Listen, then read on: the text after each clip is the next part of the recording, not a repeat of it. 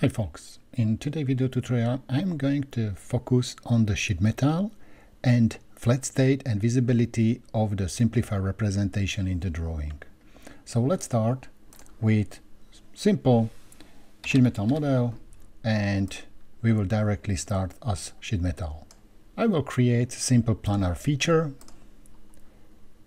and over here we will create some base shape so maybe I will create some line here and you know that it's possible to create delete segments so I like to reuse this simple functionality and specify the dimension. So for example you can change the dimension here or you can create and place new dimension. Finish and what is necessary to specify is the thickness of the sheet metal so for example 2 millimeters and where the system will offset the thickness. If I will confirm OK we don't need to see the visibility of the datum planes and we would like to continue to create for example the flat walls.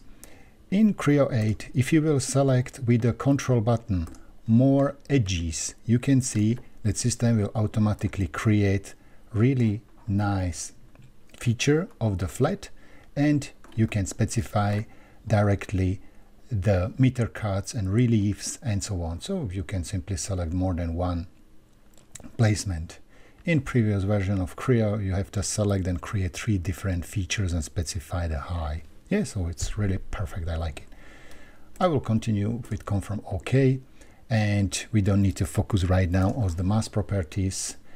And it is this notification window. Yeah, so simply to add the material and regenerate model and the mass properties will be calculated. Today, I'd like to focus on the flat state. So if I will select this icon, flat pattern preview, the system will show me the pattern preview of the flat state. So what does it mean? How it will be looks like if I will have a unbended features.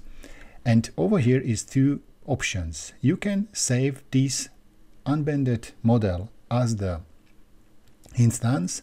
So what does it mean? The system will create instance in family table I prefer to use the simplify representation. How to manage simplify representation you can see in the previous tutorial for assembly mode. Right now we are focusing on the 3D model, so create simplify representation by this simple button and the system asks you for the name. So you can apply or you can change, it's up to you, and create. What does it mean? The system creates for you the flat pattern feature here and directly suppress. And in the menu if I will select the simplify representation you can see that right now if I will double click the system will show me the simplify representation as it is. So if I will jump into master mode and we will create for example extrude feature. Yeah we can try. So we will create simple extrude feature. We will create some cut here something like this. And if I will finish and confirm, you can see if I will show the simplified representation again will be okay. So what does it mean? The system always plays the flat pattern feature at end. If you would like to manage and add some additional feature to the simplified representation, it's really similar as in assembly mode. So you can select the feature and, for example, exclude from the menu. So if I will select it will be directly excluded. Yeah, so it's up to you. For now, I don't want to manage this modification. It was only explanation how to do it in the standard 3D modeling.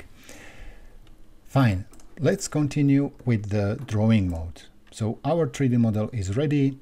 The simplified representation is prepared also, so we can create new drawing and we would like to use the same model name as in the drawing.